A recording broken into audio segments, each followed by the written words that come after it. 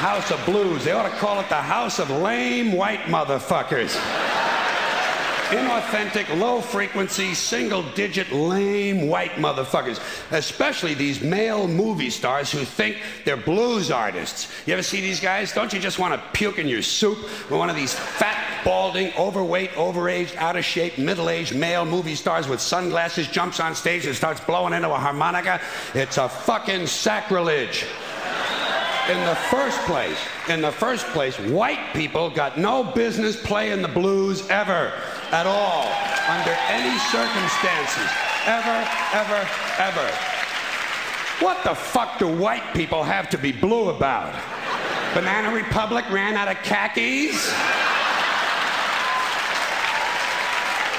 Huh? The espresso machine is jammed? Hootie and the Blowfish are breaking up?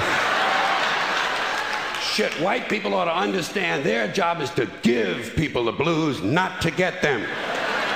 And certainly not to sing or play them. Tell you a little secret about the blues. It's not enough to know which notes to play. You got to know why they need to be played. And another thing, I don't think I don't think white people should be trying to dance like blacks. Stop that. Stick to your faggoty polkas and waltzes and that repulsive country line dancing shit that you do. And be yourself, be proud, be white, be lame, and get the fuck off the dance floor. Now, I thank you. Now, listen.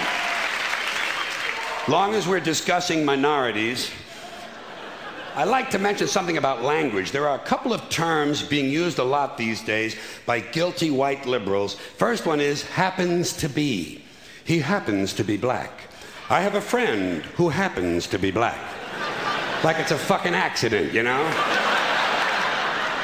happens to be black. Yes, he happens to be black. Ah, yeah, yeah, yeah. He had two black parents? Oh, yes, yes, he did. Yes, that's right. And they fucked? Oh, indeed they did. So where does the surprise part come in? I should think it would be more unusual if he just happened to be Scandinavian.